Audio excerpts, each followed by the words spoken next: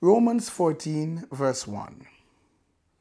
Accept other believers who are weak in faith and don't argue with them about what they think is right or wrong. Yes, that's in the Bible. Yes. Yes. We are called to be more accepting and supportive of each other, to live in unity and harmony as believers. Although we will have different stances on certain things and different opinions regarding certain issues. In this case, the Jewish believers were struggling with abandoning the old requirements of the law.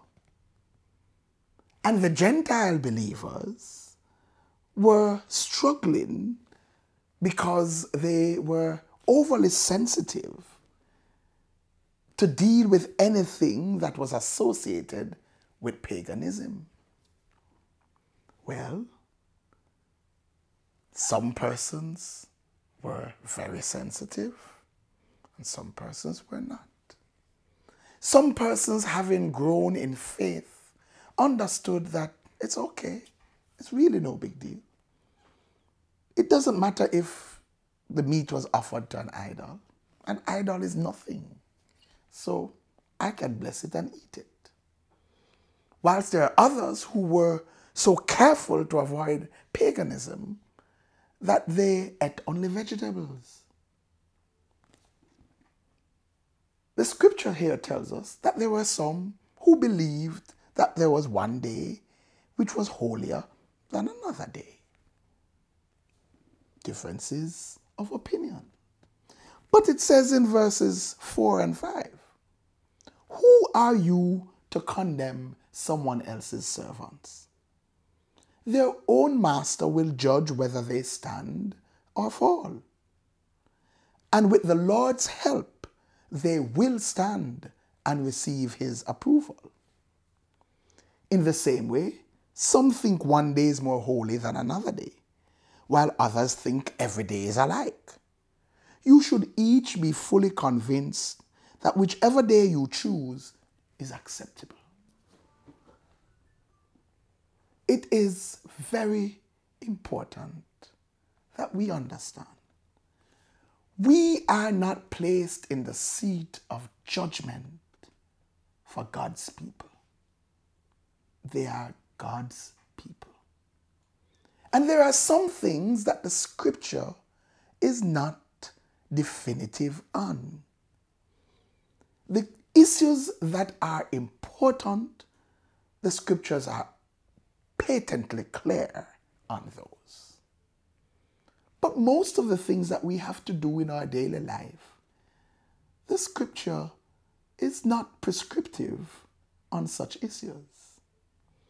And so we will have disagreements, we will have differences of opinions. But hey, why do we need to fight and war and build walls between each other. Who are you to condemn another man's servant? Who are you to determine that the other person is not saved because they have a different view on some issues than you? Do you recognize that you're operating according to your opinions and your understanding. The Bible says very little about how we spend most of our time, about eating and dressing and working and traveling. What the Bible does is to give us principles. And we apply the principles according to our understanding. So, except for the very clear doctrinal principles of Scripture. Let us be more understanding and accepting. The Bible says, Do not use your freedom or your maturity to cause someone else to stumble. And those of you who do not believe there is that freedom, do not condemn others. Verse 10 says, So why do you condemn another believer? Why do you look down on another believer? Sure, we have different administrations. Sure, we have different interpretations. And even in your life as you grow in God, you will find that what you were fine with at some time in the past will not be what you are fine with now or sometime in the future.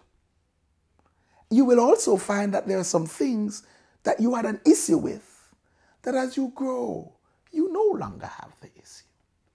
Because as we come to understand God more, as we come to understand the scriptures more, then our approach will change.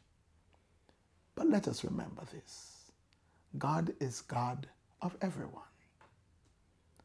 Cultures, personalities, temperaments are different.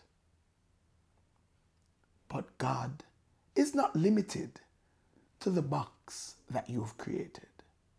So that scripture says, to you who believe it is a sin, it is a sin. Do not flaunt your freedom and cause others to stumble. And do not put your restrictions on others. What the scripture is silent on, you be silent too and let us live together in unity because there is more that bind us together than that should separate us. God bless you. Like, share, comment, and subscribe. Don't forget to hit that notification bell. And for more, join us at 9 a.m. at 10 Union Square, Crossroads, Kingston, Jamaica. If you can't be there in person, join us virtually via YouTube Live.